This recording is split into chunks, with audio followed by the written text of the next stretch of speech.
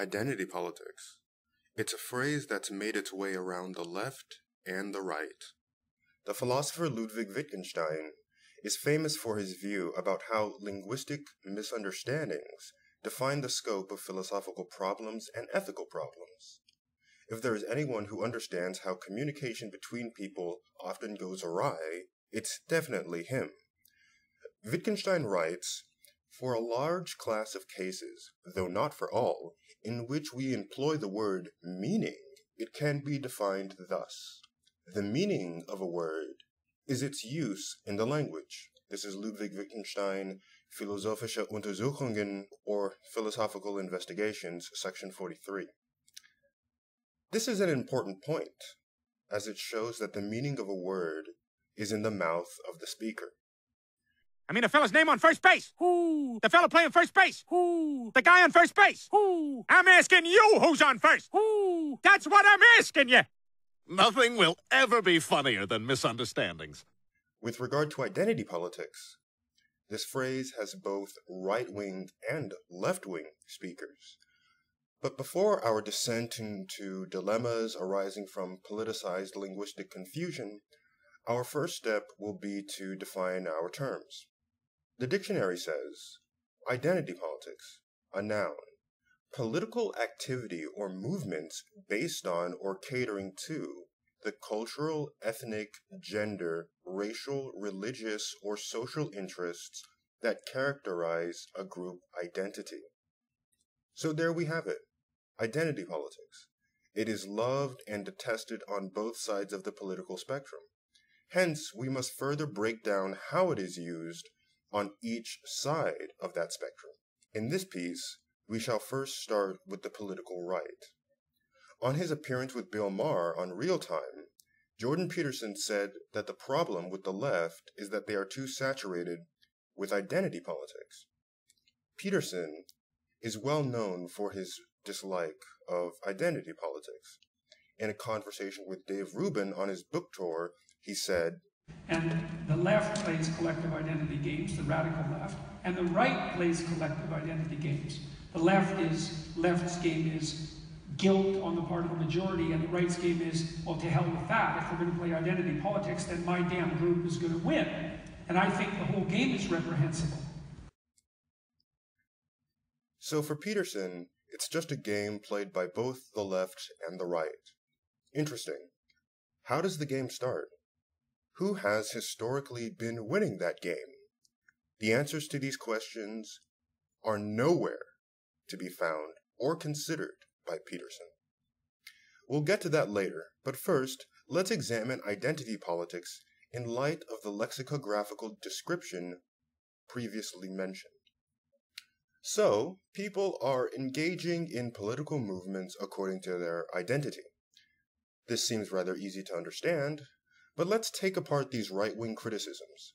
Breitbart writer Neil Munro said in an article regarding Alexandria Ocasio Cortez's victory over Joe Crowley Donald Trump was elected by mobilizing national opposition to this nation changing identity politics trend. So, according to the Breitbart article, Donald Trump was elected by mobilizing national opposition to this nation changing trend of political activity or movements catering to the interests that characterize a group identity. Okay, got it. However, there is a problem that sticks out for me in this regard. And it's a word catering. What does it mean to cater? Isn't all politics catering on some level? Let's explore this a bit. Was the Civil Rights Act of 1964 catering, or was it a huge step in the right direction for civil rights and U.S. labor law in the United States, which outlawed discrimination based on race, color, religion, sex, and national origin? The implication is that identity politics is merely special interests among a populace. But a populace is a mass of people with different interests who live in different conditions, is it not? The larger context of Munro's piece is the titular claim that Democrats' identity politics defeats establishment Joe Crowley. Munro notes that the demographic shift of New York's 14th district, which is now half Latin American, is what made Ocasio Cortez win. He says her race and ethnicity pitch to Latin American migrants was front and center on her Twitter account. I guess it's not particularly surprising that this was somewhat the case for Ocasio Cortez given the demographics of her district, but is this really identity politics?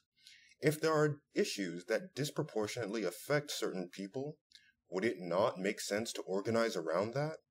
Ocasio Cortez is Puerto Rican and supports the abolition of ICE, Immigration and Customs Enforcement, an organization involved in separating mostly Latin American children from their families. But so does New York Senator Kirsten Gillibrand, who isn't Latina. Clearly, this issue can share some common ground beyond those who would likely be affected by it. If you do come into a majority and you have a significant number, or at least an influence of people who have that kind of a position. Yeah. Well, I agree with it. I don't think ICE today is working as intended. Well, you think I you should get rid of the agency? I believe that it has become a deportation force. Um, and I think you should separate the criminal justice from the immigration issues. And I think you should reimagine ICE under a new agency with a very different mission and take those two missions out. And so we believe that we should protect families that need our help, and that is not what ICE is doing today. And that's why I believe you should get rid of it, start over, reimagine it, and build something that actually works. But it actually gets worse because Ocasio Cortez did not just define her political outlook by catering to the interests of Latin American people living in that district. In this tweet, she is criticizing the violence on May 15th at the Gaza border in which over 60 Palestinians were killed and thousands more wounded. She says, This is a massacre. I hope my peers have the moral courage to call it such. No state or entity is absolved of mass shootings of protesters. There is no justification. Palestinian people deserve basic human dignity as anyone else. Democrats can't be silent about this anymore. It is clear that her political outlook goes beyond her identity. She's not Palestinian. Is she catering to Palestinians, or is she genuinely outraged at the grotesque violence exercised by the Israel Defense Forces? It's hard to tell. However, if you are in a context where your identity has a role in framing the social experiences you are likely to have, why not vote along those lines especially if you're marginalized in that context? And what about the people who are not affected by those issues? Do we examine their tendency to vote in the opposite direction, largely ignoring issues that will likely not affect them? But that's the thing. It is usually the minority groups whose integrity is questioned in this regard. The dominant group is taken to be the norm, voting outside the tribalism ascribed to the minority group, without race, without sexual orientation, without gender, without identity, as if the members of said group maintain a political God's eye view, and the ver- as if the members of said group maintain a political God's eye view on the issues facing other people. Vox's David Roberts has a very thought provoking piece on this issue, which is linked in the description box below. But this, I must say, is another problem with the right wing perspective on identity politics. The historical track record of the socially dominant group is taken for granted as normal, as intrinsic. It just is the way it is. However, one can clearly see that tribalism easily subsumes the consciousness of the dominant group. Pictured are the results of the Alabama Senate race in 2017, in which Doug Jones won against Roy Moore. As you can see, white men voted for Jones at a rate of 26%, white women 34%, black men 93%, and black women, 98%. For Roy Moore, white men voted for him at a rate of 72%, white women 63%, black men 6%, black women 2%. Is it really an accident that 98% of black women in Alabama voted against Moore? Are they playing identity politics? Or are they voting against the conditions that Roy Moore would create for them? Keep in mind that Roy Moore is a slavery apologist and a serial sex offender. In light of these facts, does it really surprise you that black women would have the lowest level of support for this man? Roy Moore also thinks that homosexuality should be illegal. Without a doubt, his support would be less than a percent among black LGBT women living in Alabama. Is that identity politics? Many on the right simply use it as a slur to imply that those engaging in it, usually minorities, are simply voting as a tribe without any regard to policies. The reality is that female black voters are resisting the identity politics of a racist and misogynistic sex offender. But beyond that, when compared to Roy Moore, Doug Jones's policies are better for Alabamians as a whole.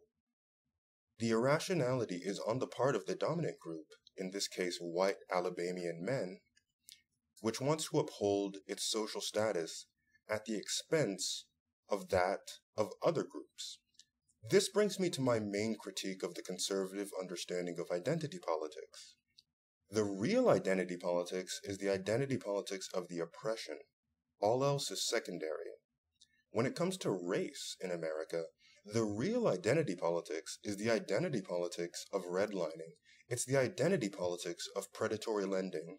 It's the identity politics of racially motivated urban planning, of lynching, slavery, scientific racism, Jim Crow, slave codes, stigmatizing black women's hair as a sexual distraction, segregation, systemically impoverished neighborhoods, voter suppression, the drug war, the destruction of Black Wall Street, human experimentation, and human zoos. These events have effects that still exist. However, do right wingers acknowledge these realities? Barely, if at all.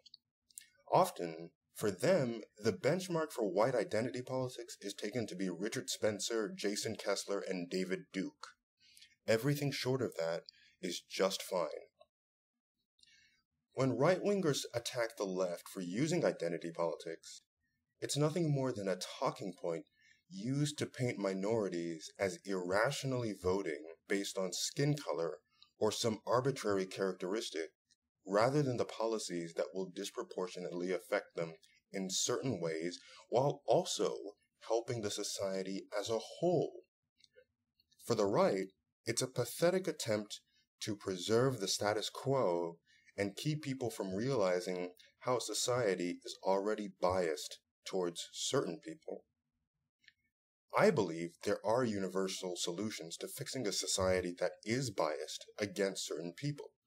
However, this is the main point. Acknowledging that people have used and continue to use race, gender identity, and other characteristics to marginalize people is just a fact.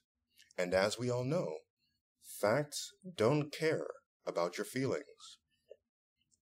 Now, it would be unfair for me to end the piece without acknowledging that such people do exist in leftist circles.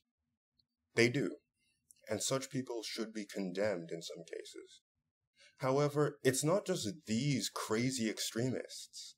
In the next video, I will talk about identity politics as it pertains to the left and the problems associated with narrow focused voting. This will draw upon certain conversations that are currently taking place within left wing circles. It should function as a way to craft a path forward for a more holistic and sane left while still acknowledging the issues that disproportionately affect certain people.